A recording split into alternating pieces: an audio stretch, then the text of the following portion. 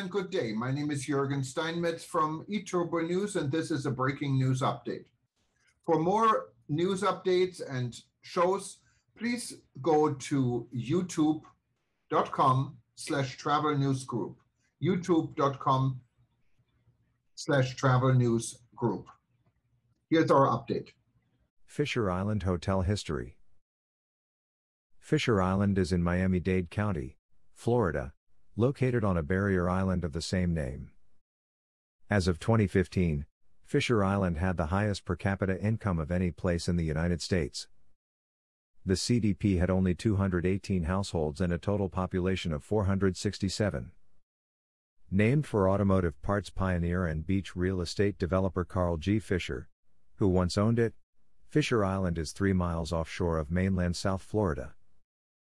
No road or causeway connects to the island, which is accessible by private boat, helicopter, or ferry. Once a one family island home of the Vanderbilts, and later several other millionaires, it was sold for development in the 1960s.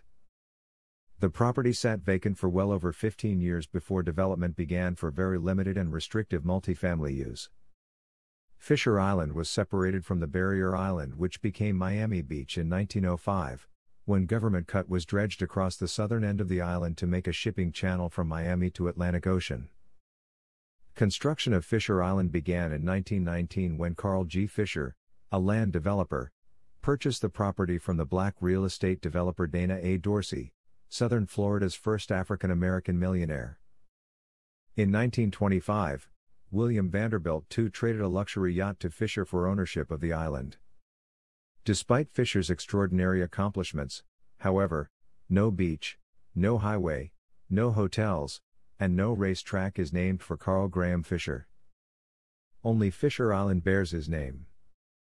Most of the laborers in Fisher's workforce were blacks from southern states, from the Bahamas and other Caribbean islands. The center of the South Florida black community was Colored Town, which was created in 1896 in northwest Miami. Blacks were denied equal housing, business opportunities, voting rights, and the use of the beaches. But one black construction laborer who worked as a carpenter for Florida's East Coast Railroad recognized the need to provide housing for black workers. Dana Albert Dorsey was the son of former slaves whose formal education stopped at fourth grade.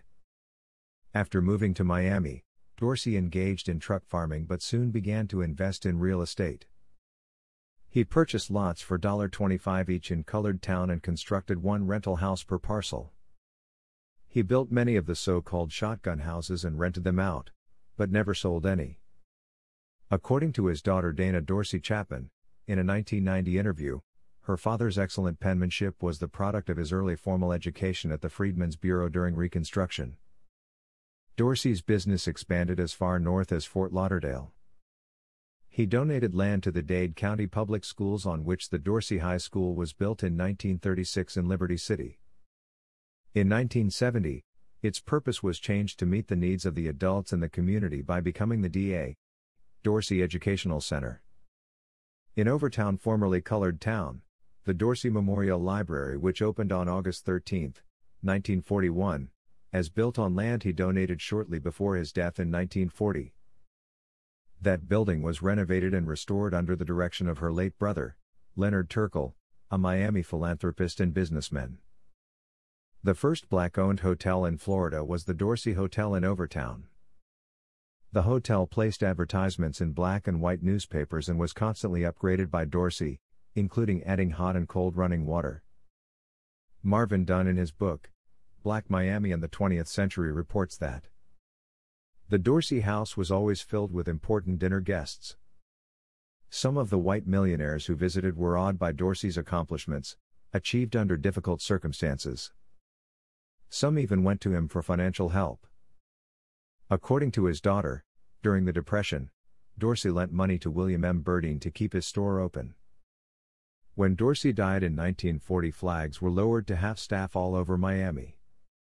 In 1918, Dorsey purchased a 216 acre island sliced from the tip of Miami in 1905 when the government dredged out a sea lane from Biscayne Bay.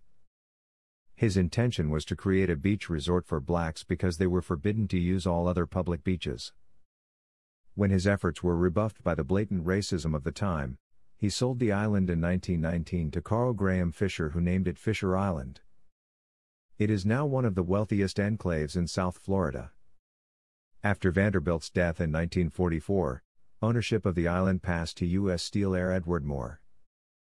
Moore died in the early 1950s, and Gar Wood, the millionaire inventor of hydraulic construction equipment, bought it. Wood, a speedboat enthusiast, kept the island a one family retreat. In 1963, Wood sold to a development group that included local Key Biscayne millionaire Bibi Rebozo, Miami native and United States Senator George Smathers, and then former U.S. Vice President Richard Nixon, who had promised to leave politics. During his subsequent presidency from 1968 1973, and during the Watergate scandal, Nixon maintained a home on nearby Key Biscayne known as the Key Biscayne White House that was the former residence of Senator Smathers and next door to Rebozo. But none of the three ever resided on Fisher Island.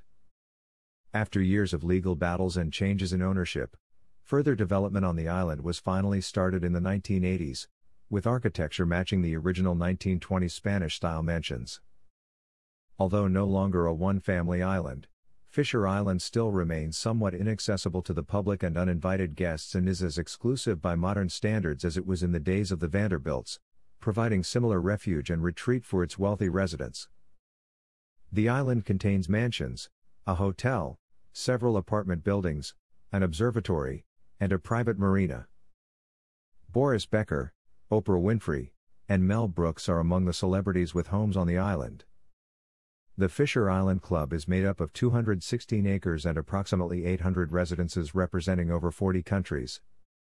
Accessible only by ferryboat or private yacht, Fisher Island is consistently ranked as one of the wealthiest zip codes in the U.S. The private membership only club boasts a beach club with one of the country's only truly private beaches, a 15 room all suite luxury hotel, a 9 hole, award winning P.B.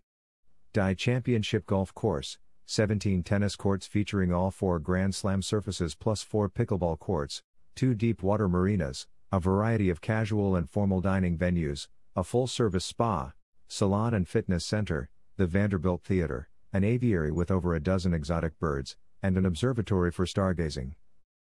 Fisher Island Club Hotel and Resort, a member of leading hotels of the world, is a boutique property comprised of a collection of just 15 graciously appointed historic and reimagined cottages, villas, and guesthouse suites that surround the now iconic limestone and marble Vanderbilt mansion mere steps from the beach, pool, spa, restaurants, and marina. In April 2018, Bloomberg reported that the average income for Fisher Island was $2.5 million in 2015, making Fisher Island's zip code the wealthiest in the United States.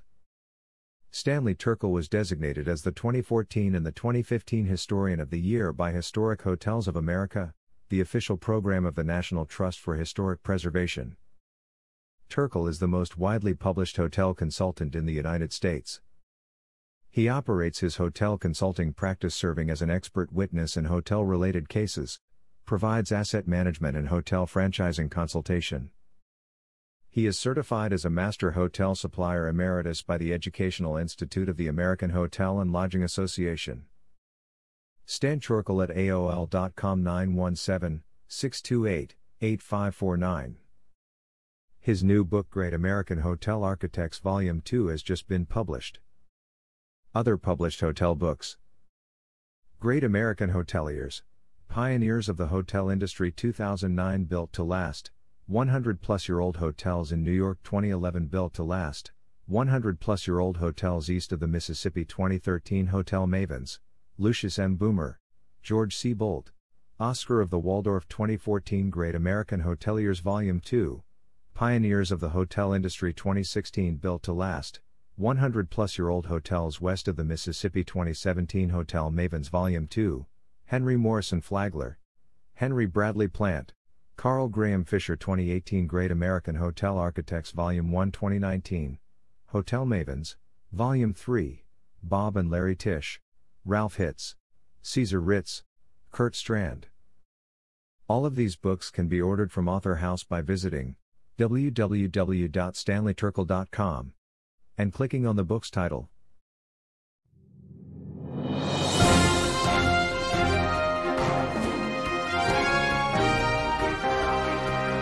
Thank you for listening to our news update. There's more on youtube.com slash travel news group, or you can read us, of course, in going to our news portal at eturbonews.com or travelnews.online.